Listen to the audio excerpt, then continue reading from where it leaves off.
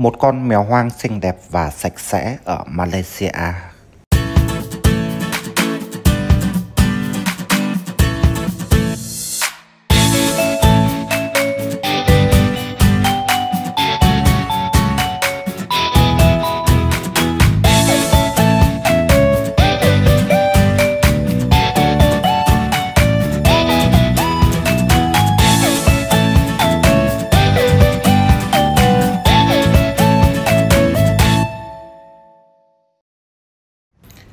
Đây là hình ảnh được ghi tại à, buổi sáng trong một khu dân cư.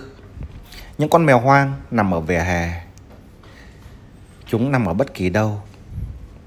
Chúng cũng rất là dễ thương, thuần khiết, hiền lành. Chúng cũng khá sạch sẽ bởi vì chúng ở những khu dân cư chứ không phải ở dưới cống rãnh. Chúng trầu trực thức ăn ở các tiệm mà tiện ích các cửa hàng tiện ích. Chúng cũng thỉnh thoảng được những người yêu động vật hoang dã cho chúng ăn. Thỉnh thoảng cũng có những đoàn công tác của hội ờ, thú y, bảo vệ động vật hoang dã Malaysia cung cấp thức ăn trên khắp thủ đô Kuala Lumpur và nhiều bang khác trong Malaysia.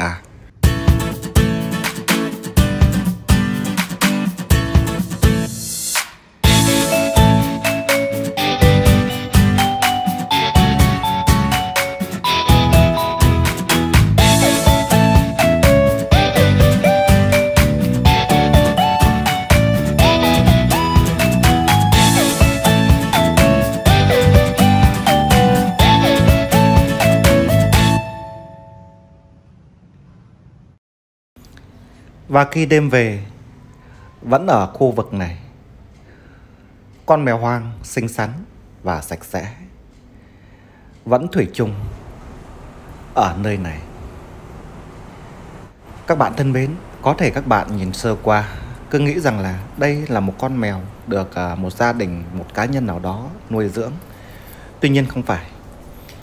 Nuôi chó, nuôi mèo tại Malaysia Thì sẽ được nhốt ở trong chuồng, được chăm sóc cẩn thận ở trong ngôi da.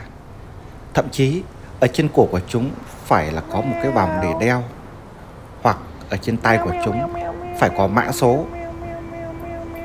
Còn những con mèo như thế này không có vòng, không có số ở trên tay. Mặc dù rất là sạch sẽ, tươm tất, tuy nhiên chúng là mèo hoang.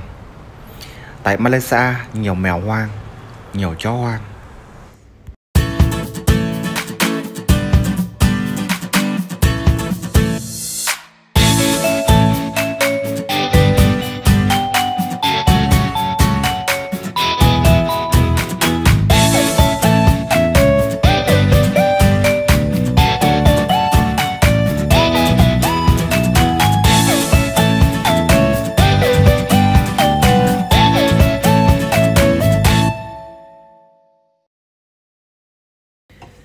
Tại Malaysia rất nhiều những con mèo hoang. Nếu các bạn một lần nào đó được đi du lịch đến Malaysia thì sẽ bắt gặp rất là nhiều mèo hoang, chó hoang ở các quán xá, ở các cửa hàng tiện ích, ở các khu dân cư, ở các lối ra vào của tàu điện ngầm, tàu trên cao.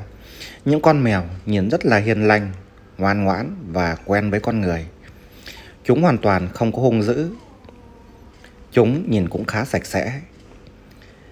Người dân Malaysia có tình yêu đối với động vật hoang dã và có cách bảo vệ nhất định. Trên đất nước Mã Lai không có các vụ giết mổ gia súc và chó mèo. Cảm ơn quý anh chị em và các bạn đã theo dõi video. Nếu bạn là người đầu tiên xem video này và lần đầu tiên theo dõi kênh này, xin hãy cho kênh một lượt đăng ký nhé mọi người. Xin cảm ơn và hẹn gặp lại.